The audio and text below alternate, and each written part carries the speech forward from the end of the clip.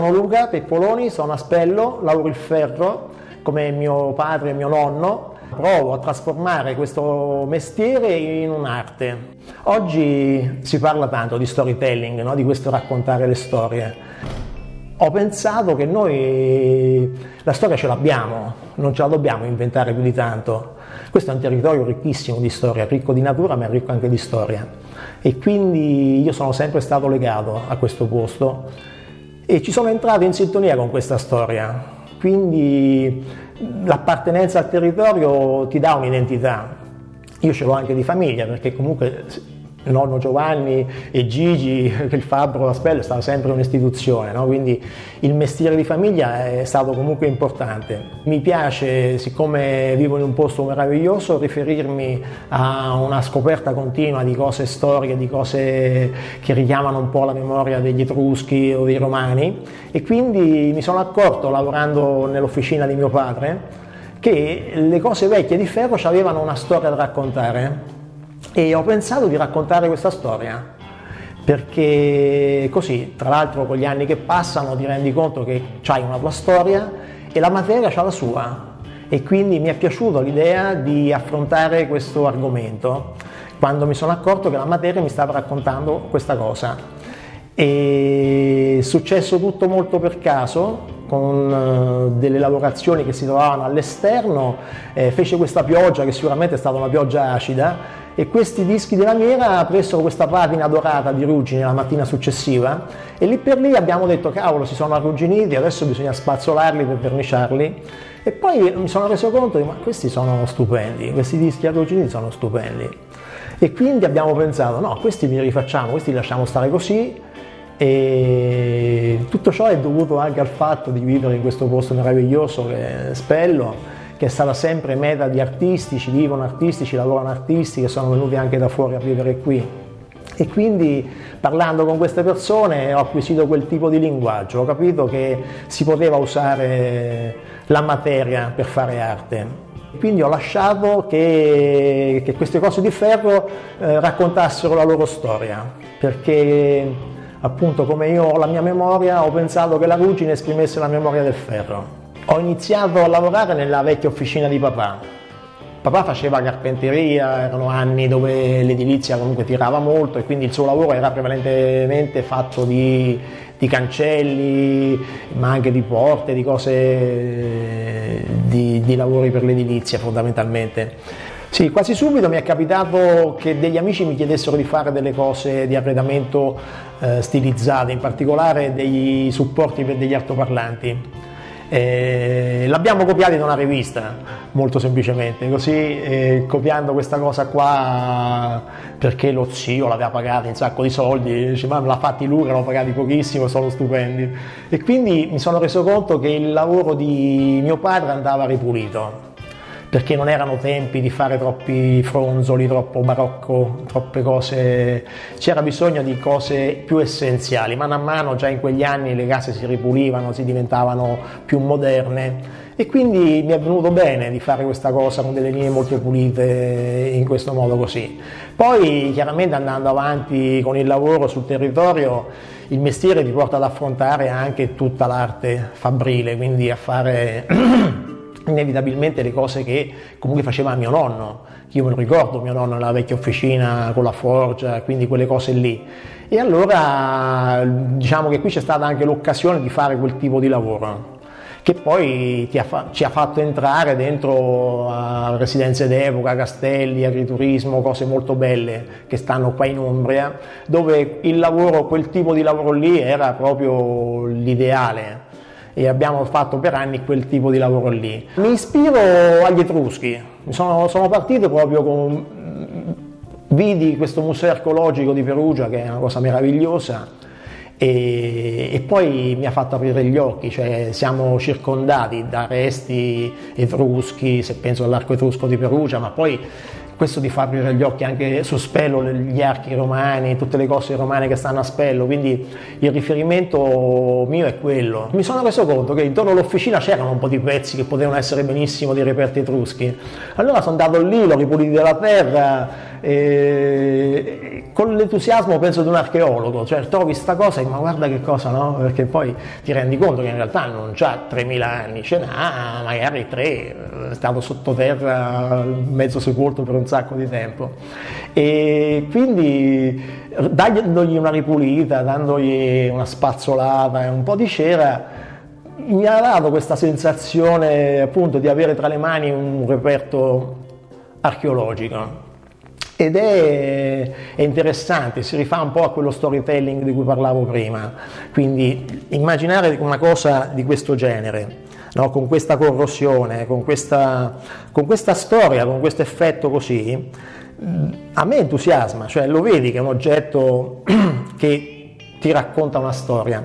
Io ho messo a punto un procedimento che è un po' un magheggio alchemico di per accelerare questa corrosione, perché poi chiaramente eh, alla fine i clienti te lo chiedono, dice ho visto quella cosa lì, eh, non è che se quella cosa lì l'ho fatta dieci anni fa, adesso ho fatto un ciclo di lavoro che mette a punto questa corrosione qui, cioè ci vuole comunque delle settimane, però io in poche settimane ottengo un reperto archeologico etrusco, più o meno, così, quindi che ha quel fascino lì. E quindi da lì, con queste forme ancestrali, la spirale è un simbolo di tutti i popoli, tutti i popoli eh, hanno la spirale nelle, nelle, loro origini, quindi parla di evoluzione, parla di tante cose, di trasformazione. E quindi la spirale c'entra quasi sempre nelle mie opere.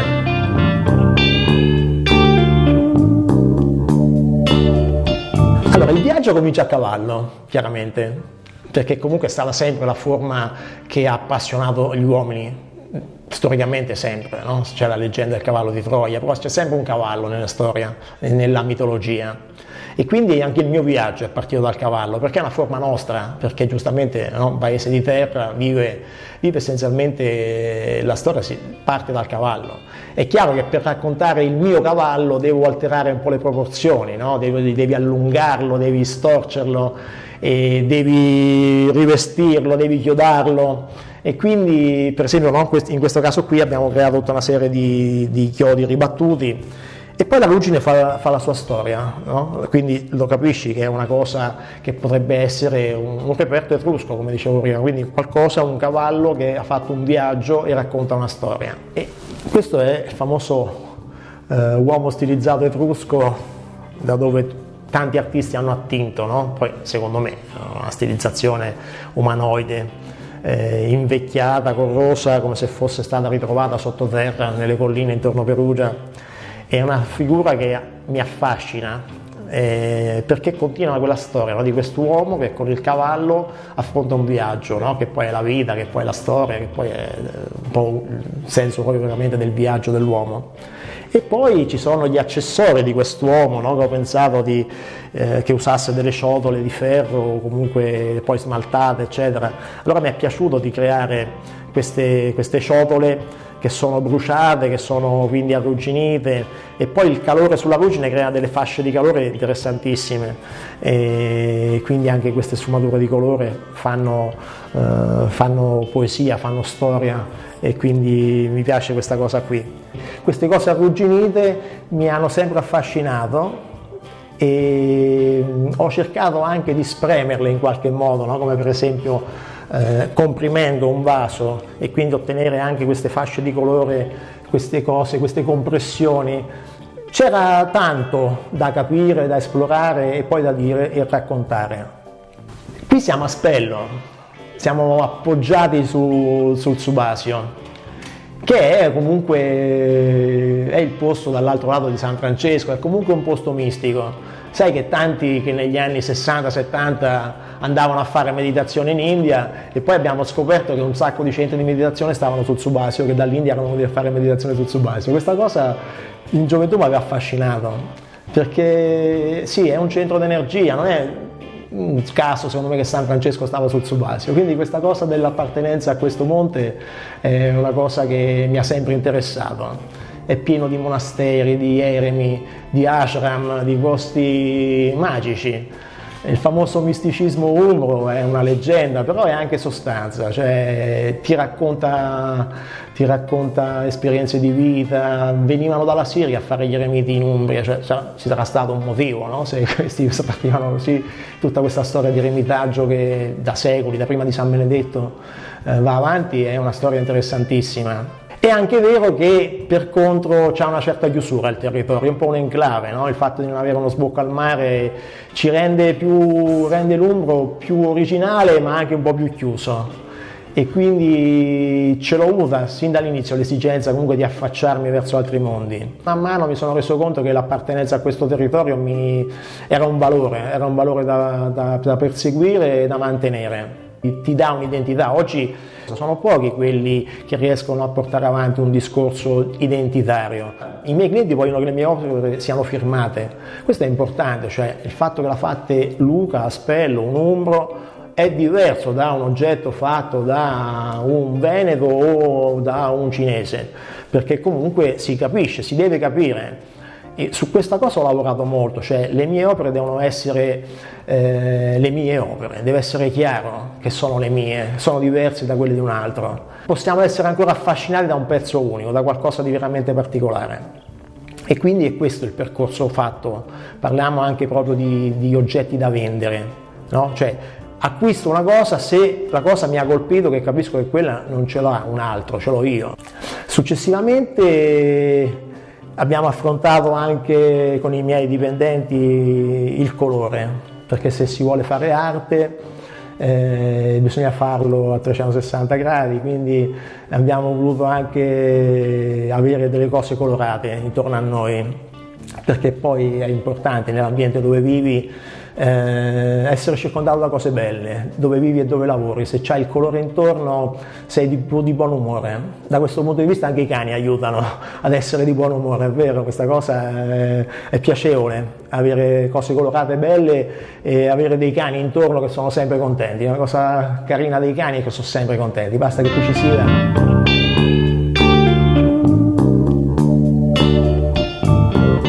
Sta al di là di quelle colline, no? un po' leopardianamente, cioè uno pensa al mare, pensi lì, pensi al relitto marino, anche quella quando mi capitò al mare di vedere delle cose, dei pezzi di ferro immersi parzialmente nell'acqua, ti rendi conto, ma magari viene da una nave, che non veniva da una nave, però la ruggine marina ha un effetto straordinario, molto interessante e quindi anche lì mi sono dedicato con acqua e sale a fare delle cose che ricordassero un po' quella cosa, quelle storie lì. Quindi sono arrivato al mare e ho pensato che ci fosse questo mare popolato di creature strane, no? perché poi comunque con una mente umbra, con una mente di terra, il mare lo devi un po' interpretare, non ce l'hai tu, ci devi pensare, devi capire che c'ha questo mare, che cosa ti può dare. E mi è sempre affascinato la geometria, cioè qualcosa che richiami una forma, quindi per me il mare è un po' il pretesto di creare delle forme, eh, il più possibilmente particolari, il più possibilmente strane, no? per cui fare, eh, affrontare la stranezza come come identità. Il mare è un pretesto per creare una forma, una forma strana, una cosa che comunque ti fa pensare ma come ha fatto questo pesce a essere così, no? che, che, che, gli è successo nella sua evoluzione, nei suoi millenni per diventare una cosa così, perché magari c'era un'altra creatura che lo aggrediva e lui ha pensato di fare una stranezza per spaventarla. Anche sul colore abbiamo fatto una cosa particolare, perché comunque abbiamo creato una storia anche sul colore, perché col Kragelé, eh, perché poi Burri non è poi così lontano, quindi siamo andati a vedere a suo tempo i cretti di Burri. E quindi abbiamo pensato di screpolare la superficie e intervenire con un altro colore. E in qualche modo siamo andati a fare col colore quello che faceva la ruggine col ferro. Quindi abbiamo pensato di raccontare una storia di un pesce attraverso le sue crepe attraverso la tecnica del craquelé, quindi intervenire colore su colore in modo da creare una situazione non uniforme che in qualche modo richiama un po' le squame del pesce ma in qualche modo torna anche a un discorso di memoria. Perché quando c'è il graffio, quando c'è la spaccatura capisci che c'è qualcosa di oltre. E allora in ogni caso anche nella, nella, nel divertimento, nel colore però raccontiamo comunque una storia, una vita di un animale. Un altro simbolo del mare è la balena La balena significa tante cose, no? è un'altra di quelle cose che nella storia dell'uomo sono sempre presenti, poi ce le portiamo dietro da Pinocchio, da tante cose qui, quindi una balena arrugginita è proprio una storia del mondo del mare. In questo caso poi è incrostata da una stella e da una conchiglia e qui ritorna il tema della spirale per cui racconta sempre di una storia di un'evoluzione, di una, di, in qualche modo di un qualcosa incrostato e la ruggine svolge bene questo ruolo qui.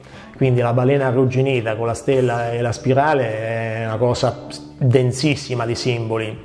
E parlando di simboli si arriva alla geometria, perché la geometria da sempre spiega all'uomo tante cose in natura e quindi eh, la sento molto mia, quindi diciamo che da queste forme tipicamente marine sono arrivate delle forme più legate proprio alla forma geometrica dove il pesce diventa un po' un pretesto per raccontare un'altra storia.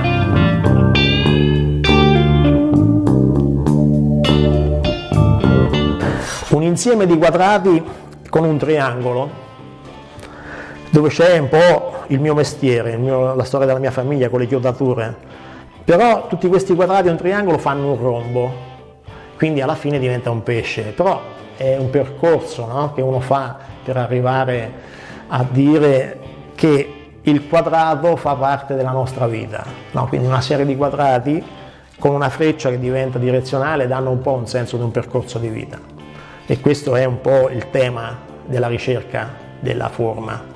Il mare ti dà il pretesto per raccontare un'altra storia. Eh, ho letto tardi, in tarda età, eh, il ritratto di Dorian Gray, c'è una frase illuminante nella prefazione, no? dove ti dice possiamo perdonare a qualcuno per aver fatto qualcosa di utile purché non se ne compiaccia. Eh, l'unico modo di apprezzare una cosa inutile è di ammirarla intensamente. L'arte è assolutamente inutile. Dico cavolo, ho passato la vita a fare cose utili, adesso mi tocca ricominciare da capo, perché se voglio fare l'artista devo fare delle cose inutili. E questa cosa però mi è piaciuta tanto, perché in effetti poi nell'accezione dell'inutilità dell'ammirazione, quindi in realtà non è inutile, no? se la ammiri ha fatto una cosa utilissima. E, inizia un percorso complicato perché le motivazioni sono più strane, no? sono più complesse. Se fai una cosa utile è più facile, alla fine è anche facile appagare una persona, no? cioè gli fai una cosa che gli serve. E quindi le motivazioni per fare arte sono più complicate, sono più complicate perché ho pensato, penso che fare arte sia un po' come cercare la felicità. Non si è sempre felici, si cerca di essere felici. Il subasio è pieno di ammoniti, di reperti fossili. L'ammonite ci riporta alla spirale. Questa spirale in particolare nasce da, bella, da un bel lavoro di forgiatura al suo interno e poi ho fatto il solito procedimento alchemico di trasformarla in un fossile. E, in realtà è la testimonianza che c'era il mare anche in Umbria, no? perché poi queste terre sono emerse.